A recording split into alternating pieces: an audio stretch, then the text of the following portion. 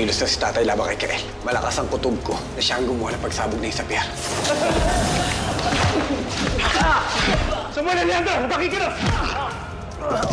Si Juan? Kahit ako hindi makapaniwala. Talagang nagkakampiyan ng mag-ama, tataw yan. Ngayon sigurado na tayo nakakampi ni Juan si Samuel Alejandro. So mag-iingat ka, Juan. Mahirap basahin ang iniisip ng Haring Aswang. Makukuha ko rin ang tiwala niya. At siya rin mismo ang magtuturo sa akin kung saan ko makukuha ang tunay na pakay ko. Kailangan natin matagpuan ang apo ko. May ideya na po ako kung paano natin gagawin yun. Paano? Hindi po paano. Sino? Pag-iisipan mo ang lahat ng nangyayari. Kung sasanib ka sa akin, magbabalik loob at tayo magtutulungan. Bibigyan kita ng pag-asa na ituwid mo ang iyong pagkakamali.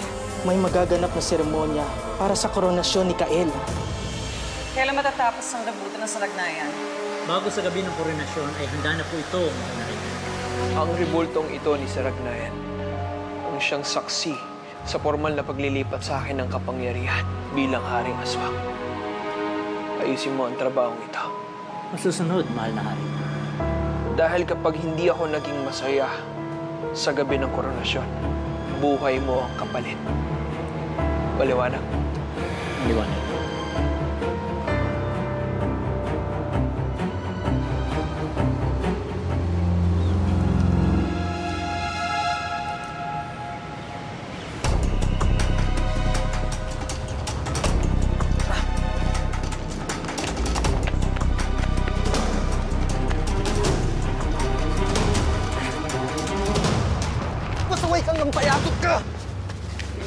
Kami ha. Pagka tumatakbo, eh nahabol niyo ako eh. Kaya sumama ka sa amin. Kakausapin ka ng tatol yan. Tara! Tara!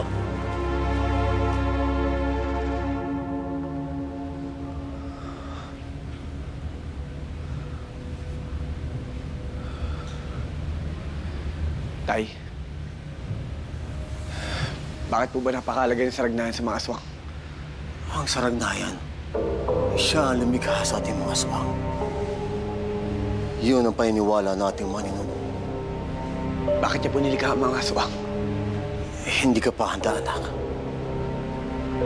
Kapag tinanggap mo na na ikaw ang anak ng dilim, ibibigay ko sa iyo ang malalim na lihim ng mga aswang. Bakit di niyo po sabihin sa akin? Malay niyo po maintindihan ko.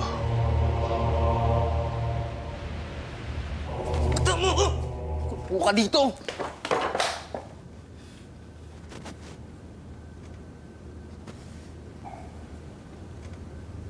Asyong, alam namin na alam mo kung nasan si Juan. Kaya sabihin mo na. Uy, bigote. Ba't ba ang kulit mo? Sinabi nang wala ako sasabihin eh. Asyong, para na rin kitang apo. Huwag mo akong paglulukuhin. Nasaan si Juan? Ama, masunod lang ako sa utos. Pinagagawa lang ang statwa. Huwag mo akong patayin. Bakit mo iniisip na papatayin kita? Mas mahalaga ka sa aking buhay. Sige. Tapusin mo itong ribultong ginagawa mo. Yun ang mahalaga sa akin. Hmm, Masusunod po, Amang Hari.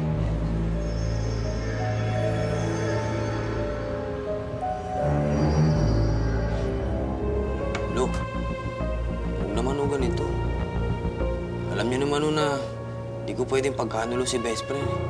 Mas mipiliin mo pa yung pagkakaibigan niyo ni Juan, ha? Ipinagkalulu tayo nun! Wala ka kasing alam kay best friend. Bulag ka ba? Hindi ba nakita yung mga ginawa niya? Asyong, kung talagang kaibigan mo si Juan, sasabihin mo sa amin kung nasaan siya para matulungan namin. Lo, pasensya na ako. Pero kahit anong gawin niyo sa akin, wala ako kung sasabihin. Wala akong alam. Hindi ko alam kung nasaan siya. Hindi ko alam kung anong balak niya. Basta ang alam ko lang ako, kaibigan ko siya. Bilang ako. Asyong! Asyong!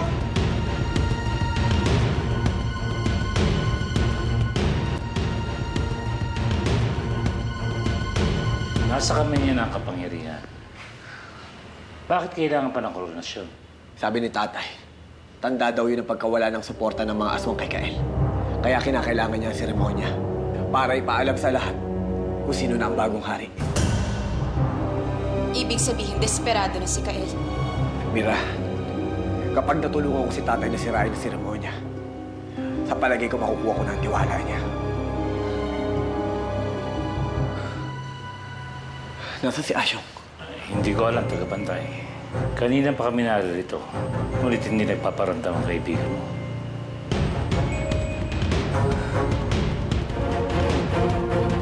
Asyo, Rosario, wala akong sasabihin. Ako meron. Asyong ang sabi noon ni Juan, hindi siya kakampi sa tatay niya. Pero ngayon, hindi ba yun ang ginagawa niya? Hindi mo siya dapat pinoprotektahan dahil alam mo mali ang ginagawa niya. Paano kung ginawa niya lang yun para... Para paniwalaan yung tatay niya na kampi siya dito. Pero sa bandang huli, kakalabanin niya rin yung tatay niya. Bakit? Yun ba ang sinasabi ni Juan sa'yo? Hindi. Yun lang yung gusto ko isipin. Yun din ang gusto kong isipin, Asyong. Dahil inaamin ko, mahal ko pa rin si Juan. Pero kailangan kong labanan ang nararamdaman ko para sa kanya. Dahil hindi na natin siya kakampi. Kalaban na natin siya.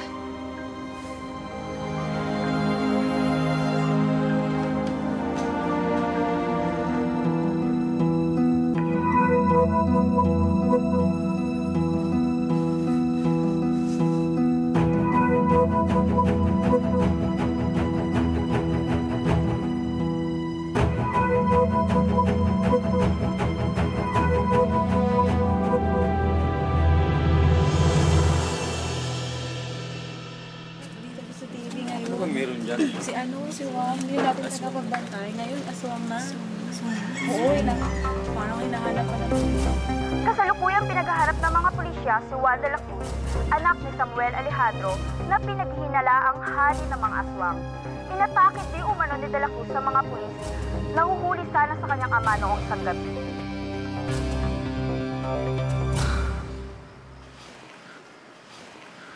Asyong, saan ka galing? Natawagan kita, hindi ka sumasagot.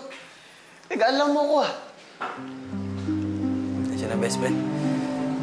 Kinausap ako ni Lolo Dul sa kanila Rosario. eh. Ano sabi niya sa'yo? Ano pa? Hindi hinahanap ka nila sa akin. Siyempre sabi ko, hindi ko alam. Pero hindi naman siya naniniwala sa akin. Asyong, pasensya ka na. Pati ikaw nadadamay ko. Hindi lang ako best friend.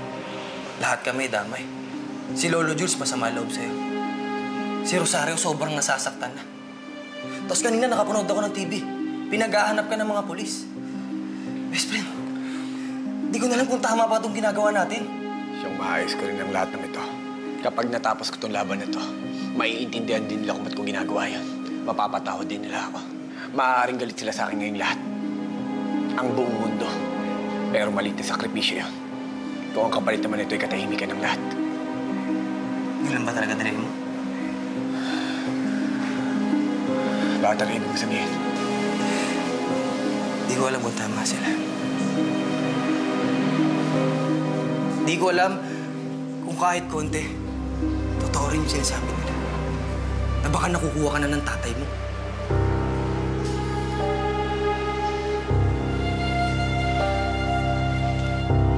Akala ko ba mag-best friend tayo? Bakit pati ako pinagdududahan mo? Bakit pati ako inuusgahan mo?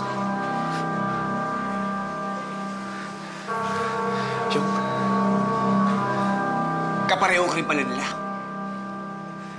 Kini-question mo pagiging kaibigan ko sa'yo? Ang sakit mo naman magsalita, Tol! Ikaw ang magalit magsalita! Alam mo kung bakit sinasabi sa'yo ito? Kasi nag-aalala ako sa'yo. Kasi gusto ko best friend okay ka. Kasi gusto ko pag-isipan mo din yung ginagawa mo.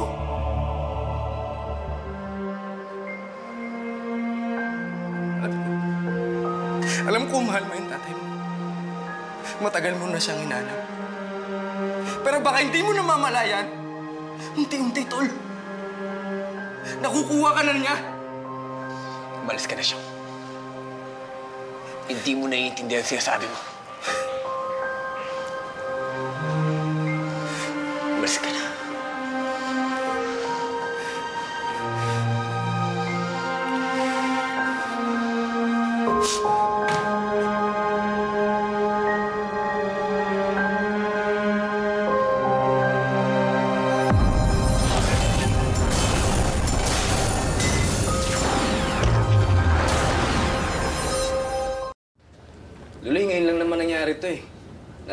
Nagkaaway kami ni best friend ng ganito. Pero kailangan ko kasing sabihin sa kanya eh. Akala niya kasi hindi ko siya naiintindihan. Pero lalo naiintindihan ko siya. Kaya ko nga nasabi yun eh. Ewan.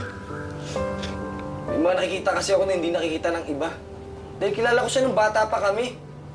Pero eh, may nagbago eh. Ang laki ng pagbabago. Anak, hindi kasi normal ang sitwasyon niya ngayon. Dala-dala ni Juan ang kapalaran ng napakaraming tao sa kanyang balikan. At importante ang magiging desisyon niya, lalo na sa panahong ito. Aba, kahit na sinong ilagay mo sa ganong sitwasyon, ay babaguhin ito.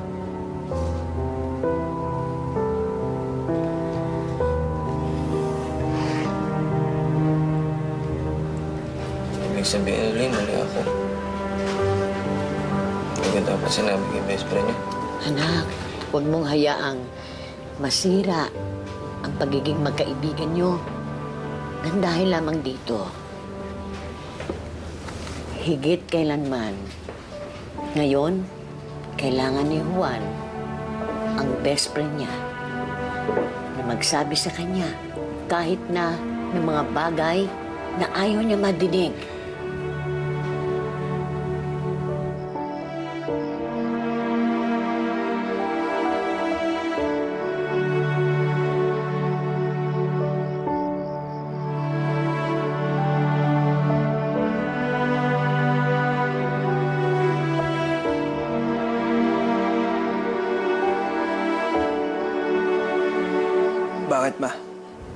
Problema? Kinakabahan ako para sa koronasyon mo mamayang gabi. Bakit? May pakiramdam ako naguguluhin ito ni Samuel. Ama.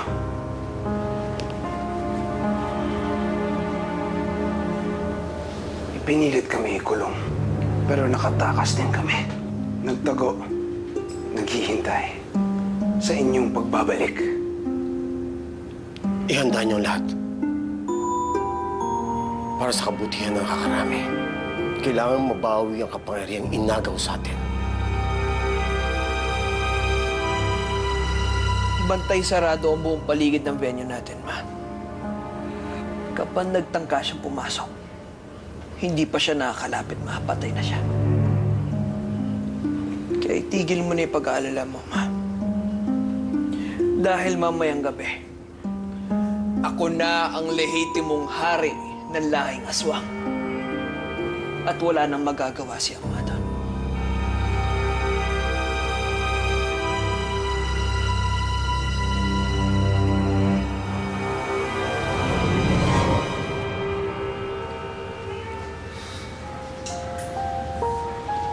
Best friend. Pasensya na sa sabi ko kagabi ah. Siyong, patawarin mo rin ako kung nagalit ako sa'yo. Pero maniwala ka sa akin. Ginagawa ko ang lahat ng ito dahil sa misyon ko. Bata pa lang tayo, mag-best friend na tayo. Pero kung sigurado ka sa gagawin mo, sige, susuportahan kita. Best friend pa rin ako, ah.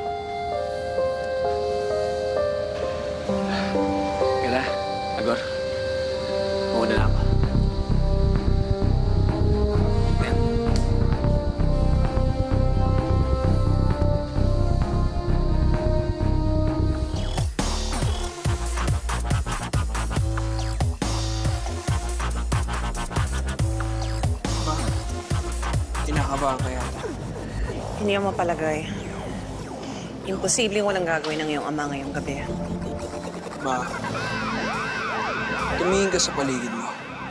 Kordado ng mga tauhan ko ang area na to. Papaligiran din tayo ng mga snipers ko. Kaya kahit ano pang sanib ni Ama at ni Juan, wala sila magagawa. Mamamatay sila bago pa man sila makapasok dito. I believe you, son.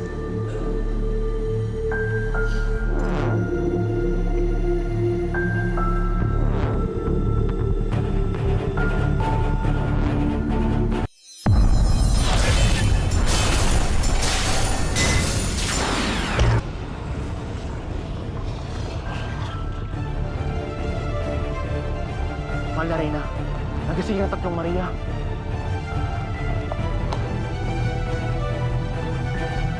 May paparating na signos. Isang malagim na kaganapan. Nasisimula ng anak ng dilim.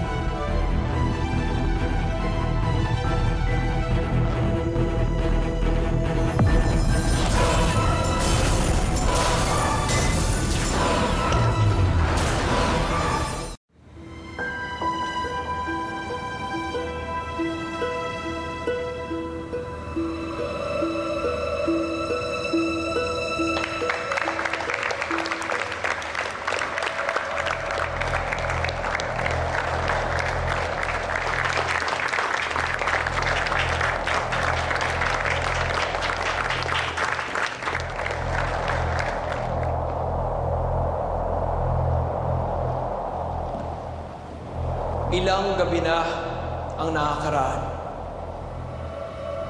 Nagtagumpay tayo sa pagpapatalsik sa trono ang aking taksil na ama na matagal nang nagdadala sa kapahamakan ng ating lahi. Ngayon, ako na ang bago ninyong pinuno at pinapangako ko sa inyo na magtatagumpay ang ating lahi laban sa mga. At sisimulan ko ito ngayong gabi sa patnubay ng ating dakilang batalang Caesar Arnaya.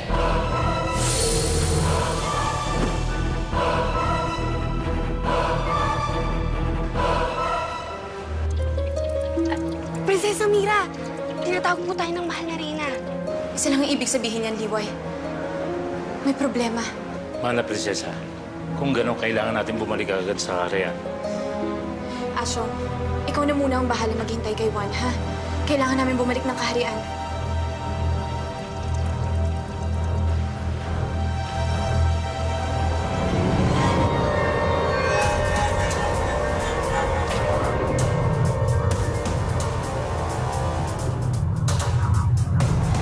Ina!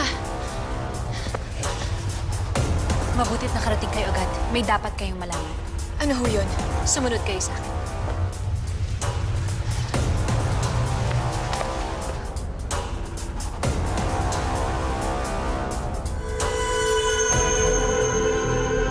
Mga kalahi, saksi kayong lahat, pati na si Saragnayan, sa bagong yugto ng kasaysayan ng ating lahi. Dahil ngayong gabi, formal kong tatanggapin ang aking pagiging hari.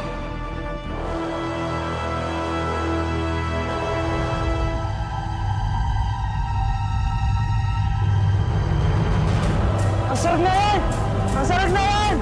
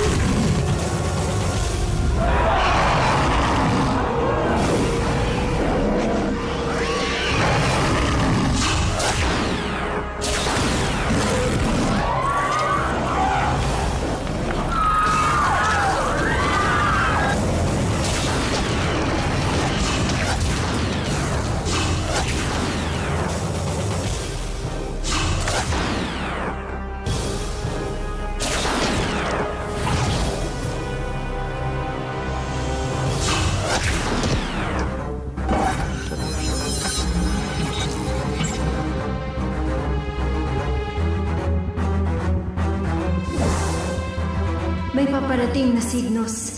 Isang malagim na kaganapan. Nasisimulan ng anak ng dilim. Binalaan kami.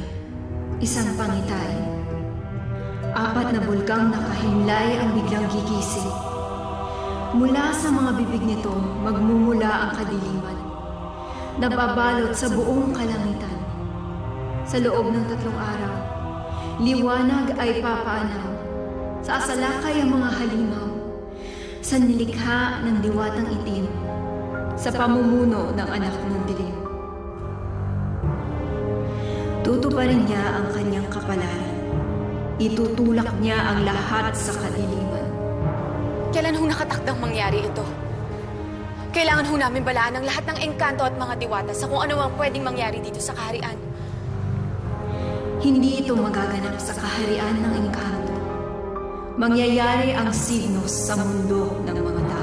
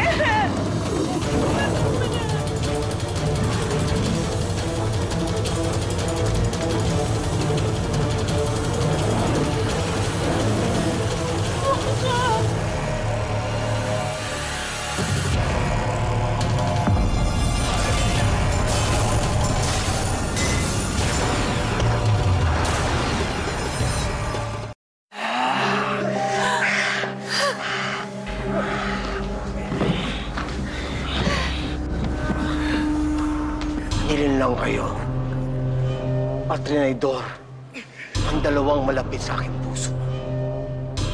At ang mga pinunong pinagkakatiwalaan ninyo, nilagay kayo sa isang malaking tigmaan laban sa mga tao. Dahil sa kanilang baluktot na paniniwala, sa ilang araw ng kanilang kabaliwan, maraming kalahi ang nasawi. Ngayon, tapos na ang kanilang paninilang. Tapos na ang kanilang pagkakaidor. Samuel. Huwag mo parasahan si Kael. Huwag mo siyang patayin. Ako ang nagplano ng lahat. Ako na lang ang parasahan mo. Ako na lang ang patayin mo. Sa kalahi kayo nagkasala. Sa kalahi kayo magbabayad.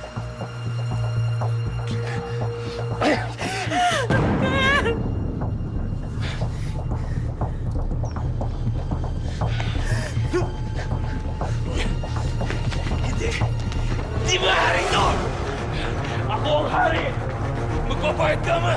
Magbabayad ka! Hindi dapat malaman ng mga aswang. Nakatulong ako ng tatay ko sa labang ito. Kailangan maibalik ang tiwala ng lahi sa kanyang lakas bilang hari. Nang sa ganon, mas madali kong magawang makuha sa kanya ang anito ni Saragnayan.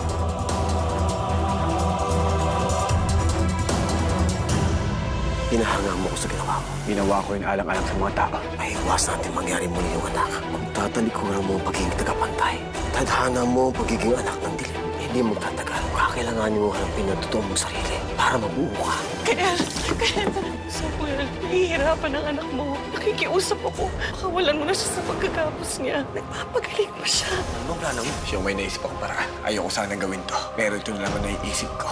Para magtiwala sa akin si tatay. Huwag mo sasabihin tatalikurin yung pagiging tagabantay mo. Hanggat nasa akin ang bakal na krus na ito, hindi ako pagkakatiwalaan ni tatay. Mag-iingat ka, Juan. Sa'yo nakasalalay ang kinabukasan ng kahariang engkanto. Huwag ka mag-alala dahil hindi kita bibiguin. Tatol yan, sorry. Alam ko na kung nasan si Juan. Nag-text si Asyo. Sabihin mo sa mga kasama natin na magsenda. Pupuntahan natin ang apo ko. Sasama po ako, Lolo Jules. Kailangan ko makaharap si Juan.